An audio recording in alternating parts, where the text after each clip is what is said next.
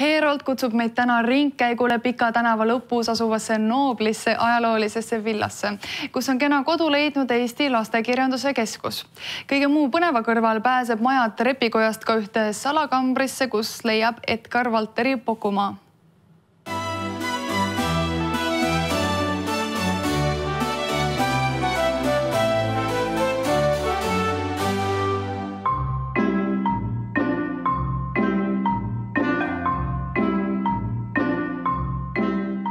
muinsustervitus. me oleme oma Heroldi juttudega jõudnud Pika tänava lõppu, Suure rannavärava kõrvale, kus naabriks on üks kahest neogooti stiilis hoonest Pikal tänaval. see ehitati aastatel tuhat üheksasada, tuhat üheksasada kaks Kochi kaupmeeste perekonnale. aga läheme vaatame, kuidas toimetab seal praegu sees Eesti Lastekirjanduse Keskus ja mis on jäänud järele vanast arhitektuurist.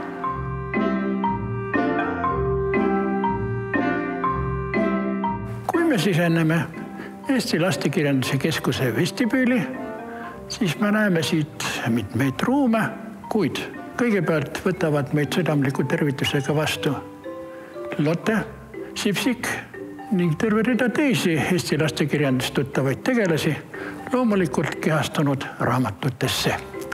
aga jah, siin on toimunud mõningaid ümberehitisi, kuid need paksud müürid ja teravkaarsusele tikkuvad aknad ja mõned muud detailid viitavad meile sellele, et suur osa arhitektuurist on säilinud ehedal kujul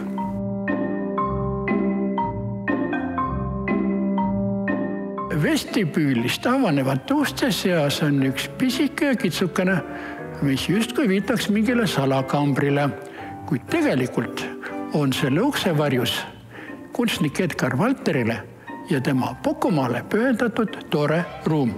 no vaadake, ma olen leidnud endale siin koha sellises toredas püstkojas, mis on ju lausa muinaseestiline ja Edgar Valter on selle kaasanud ka oma Pokumaa kangelaste jaoks ja siin nad seisavad.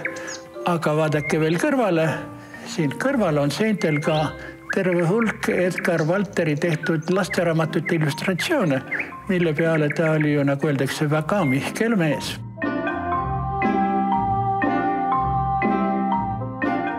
maja valmis aastal tuhat üheksasada kaks ja tellijaks oli Tallinna kaubanduseliiti kuuluv Kochi perekond ja siia tuli niisugune noh, üks perekonna selline residents, milles pidi olema nii intiimsust kui ka paraatsust.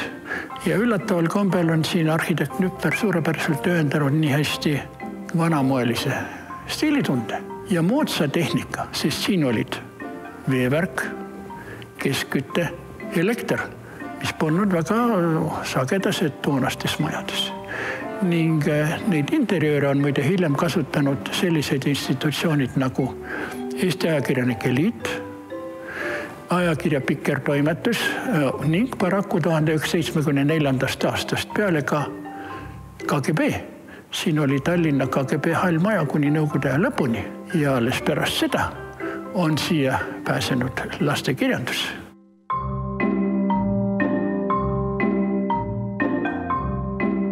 Kochi maja merepoolne tiib sisaldab ühe saali ja salongi. selles saalis siin äratab mõistagi meie tähelepanu eelkõige lagi, kus on nii hästi tore stukkdekoor loorberilehtede ja lehvikutega ja maalingud. vaat need maalingud ei olnud hiljuti veel teada. aga kui Lastekirjanduse Keskus siia kolis, siis tehti uuringud, need avastati, puhastati välja ning täiendati. Millele viitab kiri varakamber teisel korrusel ühe ukse kõrval. siin on nimelt raamatumuuseum. siia on välja pandud vanad aabitsad, lasteraamatud, mis on ilmunud juba väga ammu kuni uue majani, nii et vaatame natukene siin olevaid vitriine ja samuti ka vana põlist koolipinki, millelaadsed praeguseks on vajunud igavikku.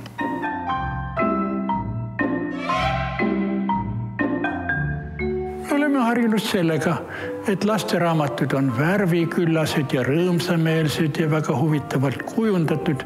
aga kui me läheme päris algusesse, siis kidurad, õhukesed, brošüürikesed, peaaegu täiesti ilma igasuguste piltideta või midagi ähmast seal kaunistuseks. nagu me võime näha selles toredas vitriinis, osa originaalis, osa koopiatena ja muide, kui me laste kirjanduskeskuses viibime, siis on meil põhjust tähelepanu pöörata ka mitmesugusele mööblile, sealhulgas on imetoredad, täitsa vaimustavad, ma ütleksin, on need moodsad taburetid, veneerist kergelt tõsta ja nihutada, see on üleni maalitud.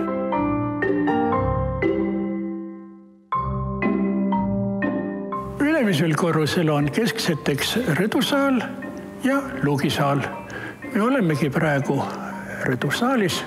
näete, vaadake, seal taga on uks, mis avanebki kivist rõdule, kust on toredad vaated.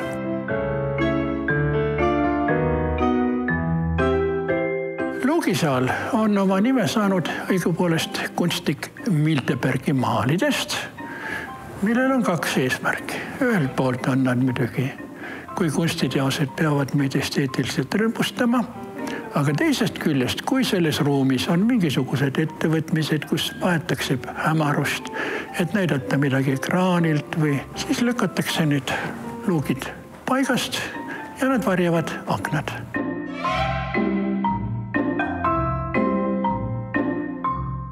lõpetades oma väikest ringkäiku Eesti Lastekirjanduse Keskuses, ma tahaksin toonitada, et kui me siit väljume, siis on ümberringi külastusväärseid objekte ikkagi palju, nii et tundkem uudishimu